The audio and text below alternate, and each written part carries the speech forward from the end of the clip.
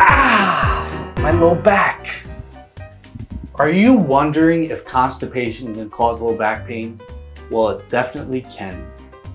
What you're doing when you're constipated and you're trying to go to the bathroom and go number two, and you're increasing the pressure inside your abs to get rid of that feces, is you're creating what's called a Valsalva maneuver.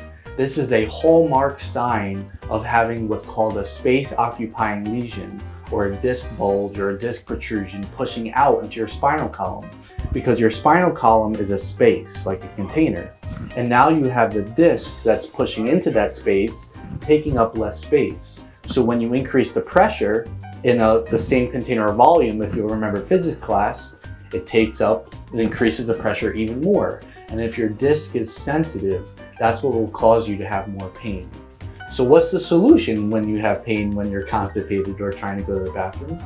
It's that you need to take stress off of your disc.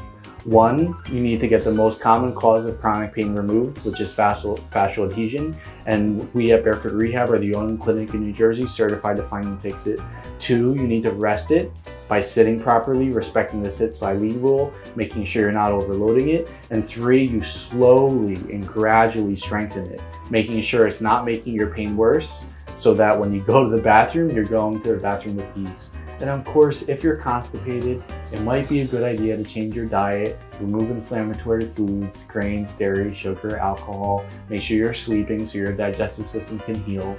I've had hemorrhoids before, they're not fun. And it was when I was eating, eating a ton of gluten 10, 20 years ago. But now, I poop like that unicorn that shits out rainbow ice cream.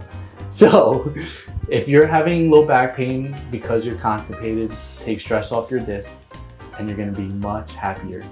We should shoot every single video on the toilet. Shouldn't we?